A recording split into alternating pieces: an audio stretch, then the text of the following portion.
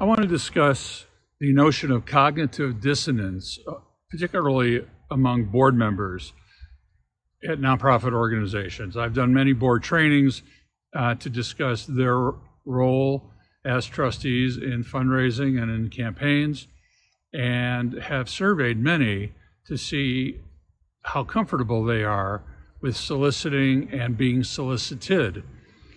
So, what I have found to be very striking is when asked if they want to solicit someone they know or would rather solicit someone they barely know, most trustees say they'd like to solicit someone they barely know.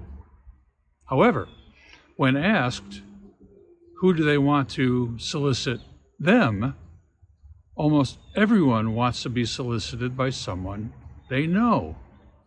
This is quite a conundrum and one that is difficult to overcome. And it is also difficult to overcome when gift officers have very good relationships, shall I say, friendly relationships as friends with donors and trustees, and cannot separate the responsibility of being a trustee or a gift officer from the friendship.